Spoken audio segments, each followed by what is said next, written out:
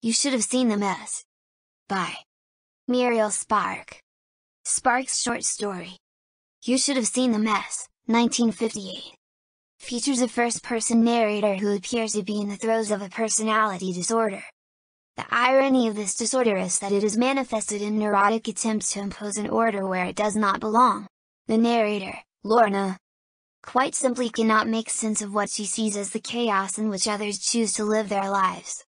The disorderliness, the want of cleanliness, and the lack of pattern in everyday behavior. And you should have seen the mess by Muriel Spark we have the theme of obsession, appearance, isolation, modernity, independence, change and acceptance. Taken from her The Complete Short Stories collection the story is narrated in the first person by a young 17-year-old girl called Lorna.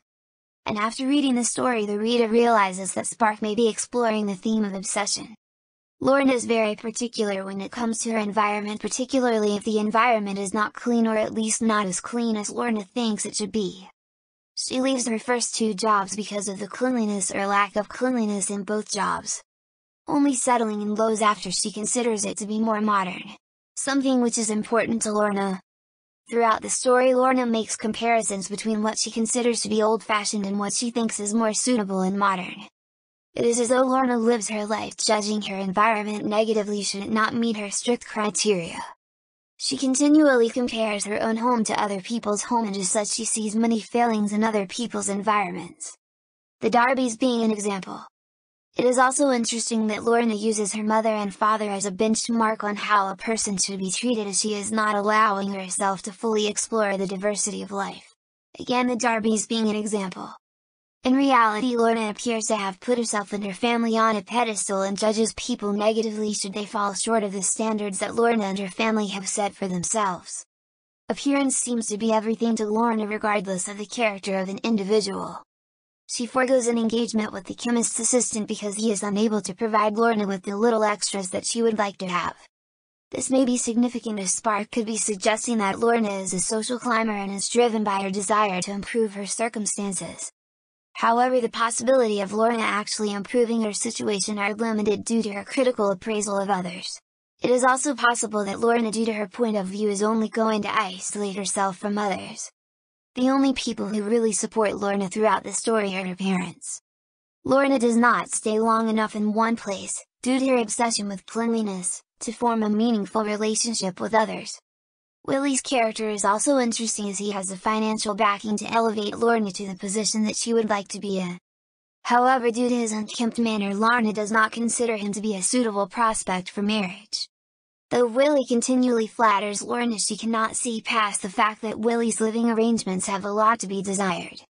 How strongly Lorna feels about Willie and his living arrangements is noticeable by the fact that Lorna considers a relationship with Willie to be a step backwards in her life. Despite the fact that Willie can provide Lorna with what she is looking for. Again there is a sense that Lorna due to her obsession with cleanliness is isolating herself from others. If anything it is unlikely that any suitor will satisfy Lorna as she is sure to find some type of fault with them. Just as she did with the chemist's assistant and Willie. Which may suggest to some readers that Lorna lacks the ability to find common ground with another individual. Such is her criticism of how people live their lives. It may also be a case that Lorna is irrational when it comes to other people's cleanliness. Not only does she judge people by the cleanliness of their environment and their appearance but she also seems unable to change her attitude. It is as though Lorna is paralyzed by her obsession with cleanliness. The fact that her parents act as enablers is also unhelpful to Lorna. If anything Lorna's parents may be as obsessive about cleanliness and modernity as Lorna is something that is noticeable by the fact that Lorna's father is constantly making changes to the house and the health officer considers that one can eat their dinner off Lorna's mother's floor. The fact that Lorna uses her parents' home as a marker when it comes to considering other people's lives and their environment may also suggest that Lorna is not necessarily independent. Such is the influence of her parents on Lorna's thinking. Without knowing it Lorna's parents rather than being supportive or Lorna are ensuring that she lives a closeted and protected life one in which anybody who might be different to Lorna is shunned. Something which would further suggest that Lorna through her thinking and actions is only isolating herself from others. For a young 17-year-old girl Lorna should be a little more open-minded and accept that others may not necessarily live their lives to the standards that Lorna sets for herself. End of the summary. Thank you.